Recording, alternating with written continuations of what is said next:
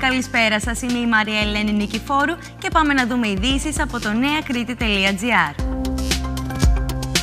Πρεμιέρα με έκθεση έκαναν σήμερα οι πανελλήνιες εξετάσεις για τους υποψήφιους των Γενικών Λυκείων όλης της χώρας. Πληκτρολογήστε νέακρήτη.gr για να δείτε τα θέματα και τις απαντήσεις τους.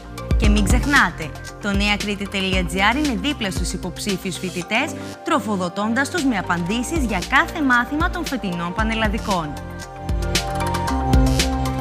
3,3 δισεκατομμύρια ευρώ λιγότερα σε σχέση με την προηγούμενη επταετία προτείνει για την Ελλάδα η Κομισιόν.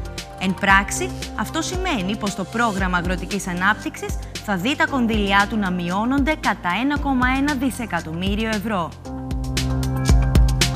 Στα ύψη εκτοξεύεται αυτό το Σαββατοκύριακο ο Ιδράργυρος. Ο πρώτος μήνυ καύσωνας για το φετινό καλοκαίρι φαίνεται να βρίσκεται πρώτον πυλών.